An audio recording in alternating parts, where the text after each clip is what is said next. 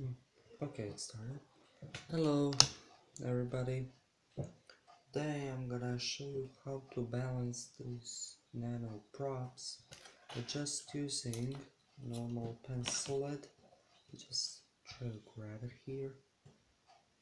Just normal pencil lead buy anywhere. Rose Girl pencils, yeah, pretty cheap stuff. You can find it anywhere. And most people have problem with these nano propellers is they're so light that you simply can't balance them. Today I'm gonna show you how to balance them. Okay, it's like midnight right now. So everybody sleeps so I'm not disturbed. And these propellers are one of those CX10 glow in dark propellers, pretty cool stuff and what you want for your application you're not having an FPV quadcopter uh, if propeller stays I'm just gonna turn this propeller stays in position that you placed it on pencil lead means that your propeller is already balanced really well. But for my applications which are FPV flying want my propellers to be balanced much better what you want to do is place your propeller like this and hold pencil lead like this very gently and just wiggle it around until it must not hit your fingers until it stops moving. Now you can see how it stands. This blade is the heavy blade. Oh, just spin it. Okay, just do this again. Okay, this blade is heavy one that's unbalanced and what I like to do is I just place it like this you can use a sandpaper uh, if you want and then just scrub the surface upper surface of this propeller like this and scrub and go around so get like nice circle form so don't disturb the aerodynamics until your propeller is so balanced that when you wiggle it it's just going to stay like like this just going to stand like this while you shake it. And if you flip it on the other side and do that again it should stay like this too. And most problem that all propellers any more any nano propellers that you see uh, they have factory mistake probably because factory they are lazy people. They usually have this small from the press that they are formed in. They have like small residue. That you just need to scrape off too until it becomes round rounded and stuff. These four propellers I just packed them back in are too transparent too glow in dark. They are balanced to specs that I need them and if you want I can make full review how to make this homemade nano quadcopter box.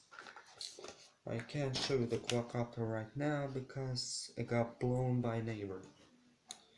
I was just flying it around and I didn't see him. Came with a shotgun and shot my drone down. I can't believe how big of an asshole some people can be. And in this area it's legal to fly any kind of quadcopters if it's military size. Yeah what can, what can you do? Yeah and after you balance and you think it's running as it should be you can just use simple small motor. These are lower power motors more efficient motor.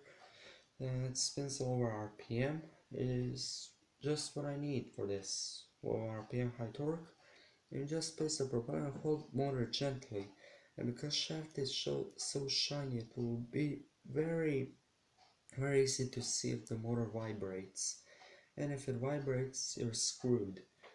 Uh, the problem that I still can't fix I'm trying to figure out how is when you place the prop and you spin it the first time the blades run as it should they like this. But after it gets some RPM one blade starts to bend more than the other and that causes vibrations. I still don't know how to fix that but I'll try to find out for you. So don't need to go like buy multiple sets of spares just to make one good set of spares which is just bullshit. Like they're just robbing us to for what? For propellers? Really? Like they usually I don't know which propeller is that? Oh yeah it's in the package here. It's one of the propellers has this both sides burned. Like probably fell somewhere they just picked it up quickly from hot part of the machine because it got burned melted up. Yeah. And this is what I'm working on. This is one of those CX10s and I bought it without firmware like 0% anything software and stuff. And I program it. I hope it's good program now. New firmware with uh, this 150 lithium ion battery that's 50C which is pretty good pretty decent. And I'll place this similar modes to this but with a bit higher RPM there will not be original CX10 because they have weaker magnets they'll use cheap neodymium these have really powerful neodymium magnet in them. Even if you think there is powerful neodymium magnet in them it's not it's not. So yeah that's how you can balance your props and I can show that these glow in the dark but camera doesn't pick up the light from them so uh, it's just gonna be useless footage for you. So yeah I hope you enjoyed the video. If you like this video uh, click the like button subscribe leave a comment. Don't leave nasty comments.